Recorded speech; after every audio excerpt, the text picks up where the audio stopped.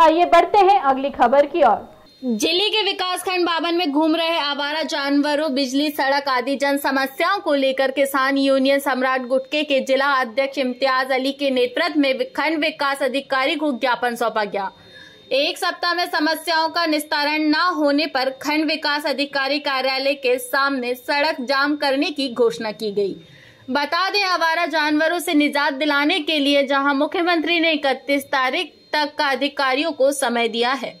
उसके बाद में ज़िले के अधिकारियों पर क्या कार्रवाई होगी, यह समय ही बताएगा। लेकिन आवारा जानवर किसानों के लिए मुसीबत बने हुए हैं। किसान रात दिन फ़सल बचाने के लिए मजबूर है। जो दो चार दिन जिम्मेवार नहीं। दो चार पड़ी पड़ जाए छह ट्राली है। तो महोदय छोटा छोटा काम है। आप एक सर्वे करवा के दो दिन में करवा दीजिए। डीजल हमारा। हमारो साहब रोड भाई हमारे लग गए। शिफ्ट कराने की जगह भाई रहे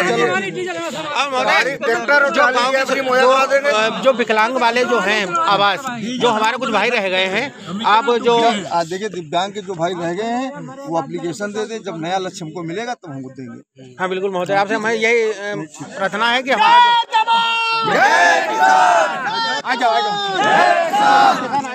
तो आप देख सकते हैं कि जो है वीडियो साहब आ चुके हैं और ज्ञापन लेते हुए आप तस्वीरें देख रहे हैं। आश्वासन दिया गया है वीडियो साहब के माध्यम से कि एक हफ़्ते के अंदर जो आपकी जन समस्याएँ हैं वो समस्याओं का समाधान करेंगे।